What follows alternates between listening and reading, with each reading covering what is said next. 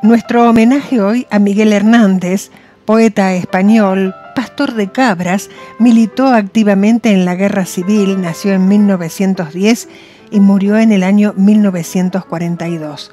Perito en Lunas, El rayo que no cesa, algunas de sus obras y su última, Cancionero y romancero de ausencias.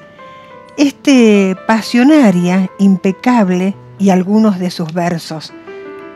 Moriré como el pájaro cantando, penetrado de pluma y entereza, sobre la duradera claridad de las cosas, tendida el alma, vuelta la cabeza, hacia las hermosuras más hermosas, y esta mujer del poema de Hernández, la habitada de aceros y criaturas, como él la llama, fuego la enciende, fuego la alimenta, es la que nació para dar dirección a los vientos.